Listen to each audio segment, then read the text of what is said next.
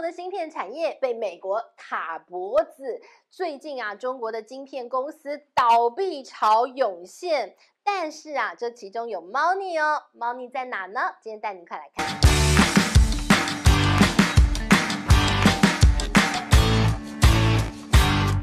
Hello，大家好，我是治愈，今天来跟大家聊聊美国的一个晶片法案呐，现在如火如荼，而中国晶片公司却出现了倒闭潮，听起来，哎，你觉得中国的一个晶片产业完蛋蛋了啦，倒一片了啦，再也追不上美国了。但是倒闭的公司这么多，这当中真的没有猫腻吗？我们来看到问题在哪里哦。先从最近呢，这个西方国家一直说啊，这个美国的这个晶片法案已经把中国的晶片产业踩在地上了。大标题就说，你看中国的晶片公司倒闭潮涌现。好了，那我们就来好好看一看数字喽。最近呢，在二零二二年，中国的晶片公司倒闭的数量高达了五千七百四十六家。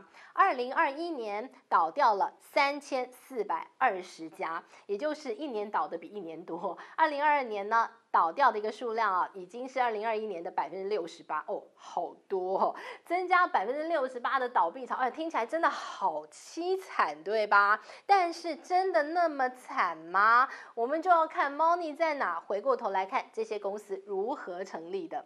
二零二零年、二零二一年那个时候啊，刚好是中美贸易大战。这个开始了之后，然后呢，美国已经开始努力的开始要卡中国晶片脖子的时候，呃，出台了非常多的一些相关的一些禁令啊政策。于是那个时候，中国做什么事呢？北京当局呢就开始寄出大量的补贴，鼓励所有的呃中国有志之士啊，我们来发展晶片产业啊。那于是那个时候就出现所谓的。芯片淘金潮，不管你是什么公司，呃，你这个本来做什么的，每个人都想搭上这个热潮，于是乎就出现了。我本来卖海鲜的，哎，我本来呃这个做电器的，哎，我本来嗯卖保健食品的，哎，我在卖维他命的，哎，全部大家都改行，哎，同一天全部通通登记变成了晶片公司。好了，那拿了晶片公司之后呢，哎，我就可以去跟北京当局，哎。我现在在发展晶片，我想要一点补贴，所以呢，拿了补贴之后呢，哎，开心。所以呢，白话了说，这些诈骗补贴的公司，好了，那诈骗补贴公司成立了之后，呃，这个过了不久，不就疫情更严重了吗？清零了吗？经济不太好了呀，那卡脖子的政策更多了呀，所以他们经营不下去。那反正补贴到手了，我倒就倒了吧，倒了又如何？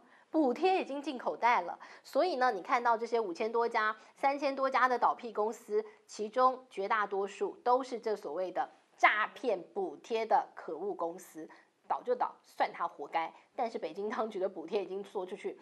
没办法，可能就当做投资失利。好了，那于是呢，这猫腻在这了。不过回过头来，我们来看正经在经营晶片产业的公司呢，嗯，它也经营困难。简单举例哈，我们来看到在二零二二年经营很困难的有一家公司，呃，这家公司呢，它是全世界第十大的晶片设计公司，它是中国的维尔股份这家公司。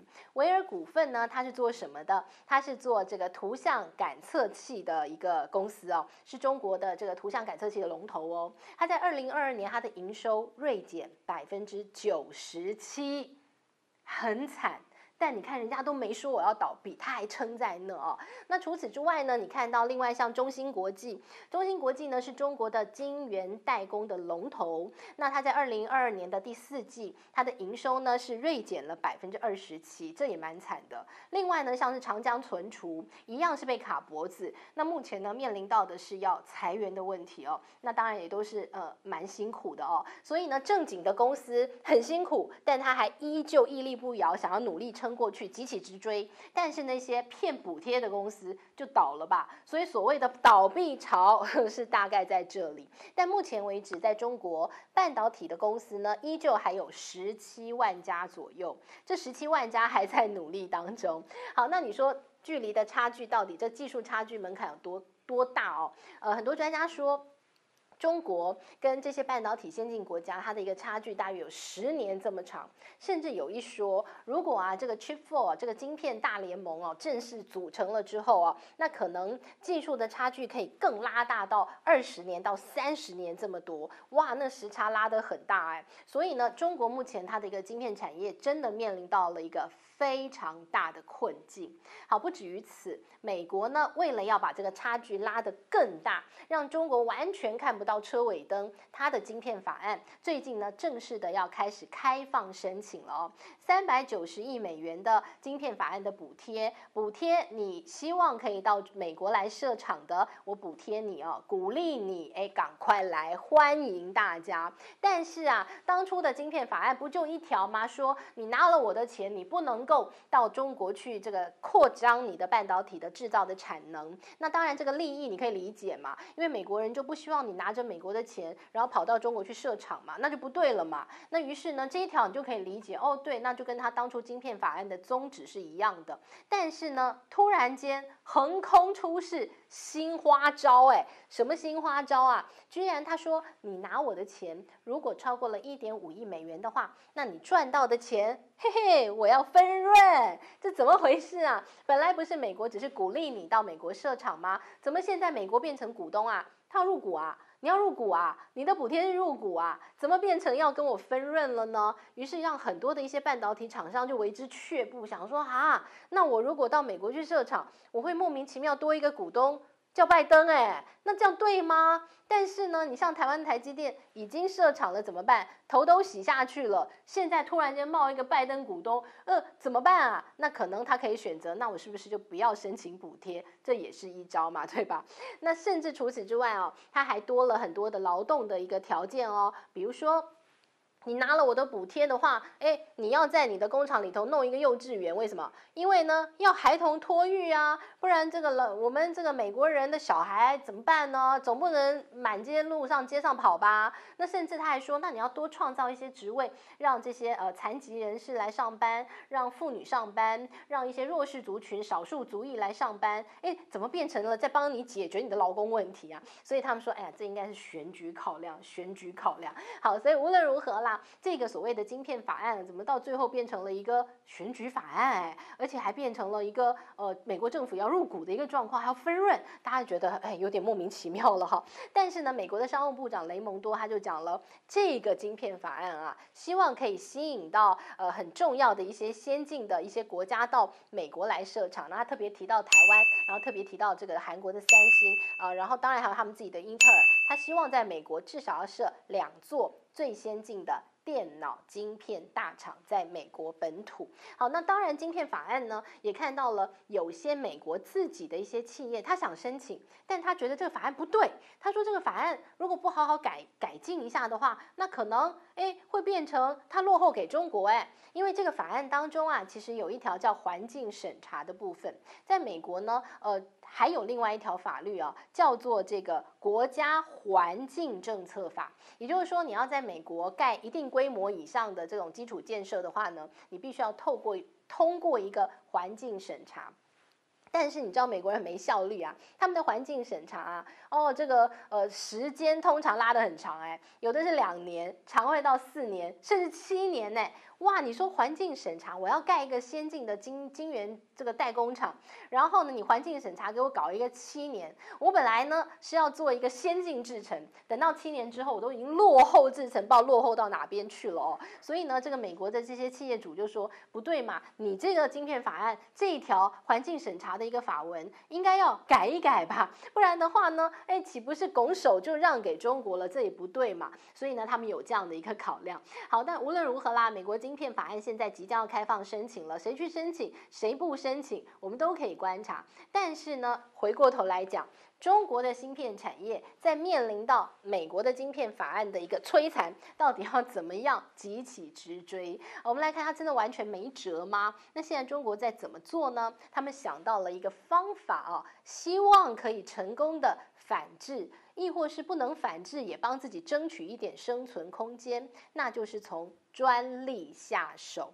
呃，我们给大家数字啊，二零二二年全世界半导体的专利申请第一名的国家是中国，它半导体专利的部分呢占了百分之五十五，都是中国去申请到的一些半导体的专利。第二名是美国，占了百分之二十六的部分。第三名呢是台湾的台积电，台积电呢，呃，它是单一法人，就单一公司申请的最多，占了百分之七的一个专利数量，总共四千七百九十三项。那再来呢，就看到是英国，英国的比例就很小了啦，但是呢。中国它这个一半以上的专利哦，哇，这很厉害，总共总数是三千七百八八百呃三千呃三万七千八百多项的一个这个半导体的专利哦，全部呢都中国人申请的，呃，这就是中国的半导体专家所说，希望可以透过专利帮自己争取一些谈判的筹码。好，那这个专利呢，他们是这样讲的。他说，目前为止，你要去呃追上这些呃西方的先进国家的半导体技术，你要去追台积电，哇，那个很难啊！你要去追上这个呃美国的一些晶片设计，哦，那也很困难。所以他们就从专利下手，他先单点各个击破，我先去研发。有什么半导体的新型的材料可以用作制成当中制成过程当中的原料，他去研发，然后再来呢，他去研发制成，有什么方法，有什么小技巧可以让这个制成变得更完善，他用这样单点单点的专利，他去申请。另外，他去研究零组件，呃，这个先进的一个这个半导体制造的设备，哪一个零组件我来研发让它更好，然后用这样的一个方式哦去申请专利。那未来来呢？只要被他研发到一个你绕不开的一个半导体制成的专利的话，哦，那我就有话语权，那我们就来谈，我们就上谈判桌，我们好好谈一谈，你是不是该对我好一点，不要再卡脖子了哦。所以用这样的一个方式，那除了去申请专利之外呢，他们还开始要打专利的诉讼。好，那专利诉讼又是怎么回事呢？中国的法院呐，现在啊，可以说在努力，努力什么？有些半导体的专利可能在别的企业的一个手中，可能已经好几十。十年了，但是当初可能他申请的过程是有瑕疵，于是呢，诶，他就找到弱点，然后去打官司，专利的诉讼。那如果出现瑕疵，申请的过程诶不太对的话，哦，取消他的专利。一取消之后，这个专利马上中国厂商就可以用了哦。用这样的一个方式呢，可以去帮中国的这些半导体的厂商。多要一些生存空间回来，让它有多一些的专利可以使用哦。那当然呢，在它追赶的过程当中，可能 maybe 就可以快一点，用这样的一个方式了哦。那当然，中国的半导体的专家说，这叫做进可攻退可守的一个保护中国厂商的一个机制。那这样的一个机制呢，到底可以起到多大的用处？目前我们不知道，因为目前为止差距真的还蛮大的。但中国的确在想方设法，慢慢的往前追，但是追的一个速度会有多快？恐怕呢还要努力了哦。好，那么这是目前为止呢，我们看到中国的晶片产业呢面临到了非常大的困境，而他们正在努力向前，而美国呢则是努力的要筑起这样的一个壁垒，不让中国往前追得更近。到底呢这个晶片产业的一个大战呢还会怎么演变呢？我们再持续带大家来关注喽。这是今天的内容，希望你喜欢喽。我们下回见，拜拜。